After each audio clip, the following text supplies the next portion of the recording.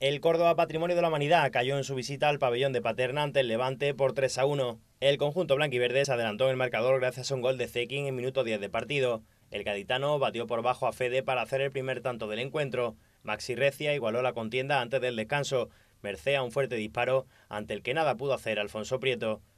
En la segunda parte, el cuadro de Josan González tuvo más oportunidades que su rival para ponerse por delante en el marcador, pero la fortuna no le acompañó sus remates. A cuatro para el final, Pablo del Moral vio la segunda amarilla y dejó a su equipo con cuatro jugadores. La expulsión cambiaría el signo del partido, ya que Rafa Usín, segundo después de la roja, puso el 2-1 en el luminoso.